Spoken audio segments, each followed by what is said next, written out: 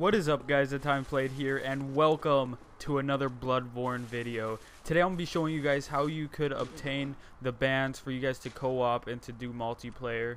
So pretty much here at Hunter's Dream, all you really need to do right here is you're going to see a pot right here in the center. You just walk up there and you're going to need to have at least 10 insights to obtain these bands and then if you have more you could go and uh, purchase other things there's pots like these they're like merchants uh, they're all throughout this area. There's more uh, on the left, and then there's one right down below.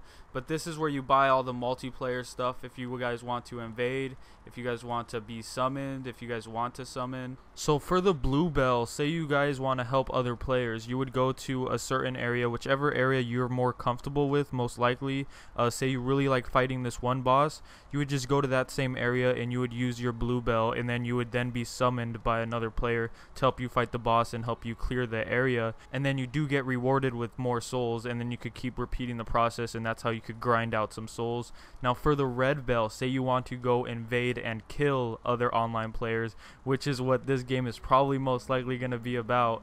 If you want to go and do that say you want to do it in a certain area same thing. You like this area more you're more familiar with this area. So you would go to that area and use the red bell and that's pretty much it guys. Expect the times to be a little long when you guys are trying to summon or be summoned or invade expect the times to be a little long just because uh, they're being used like crazy right now. So the times will be a little long probably in a couple days. They do their maintenance every Wednesday. So uh, maybe after Wednesday they'll be better and same thing with the loading screens. So other than that guys I hope you guys do enjoy this video. I will see you guys in my next Bloodborne video and thank you for watching